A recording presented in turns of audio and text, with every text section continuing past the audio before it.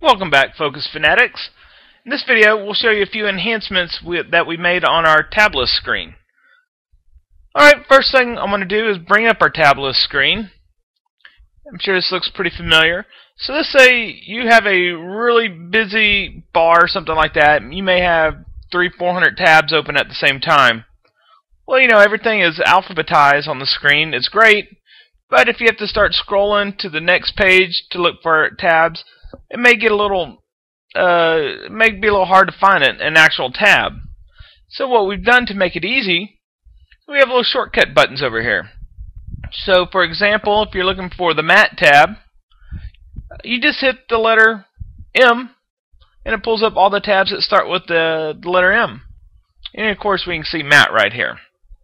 And if, and if you accidentally mistype something, you can just simply click all and it'll bring you back to all.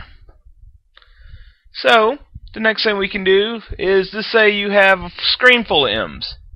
Well now, you can simply click on M-A-T, start typing in the name, and it keeps filtering out. You'll notice over here on the search box, we typed in M-A-T, so it brings up all the tabs that start with M-A-T.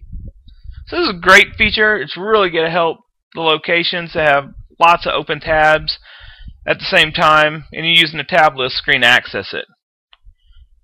Okay, Focus Fanatics, appreciate your time. Until next time, stay focused.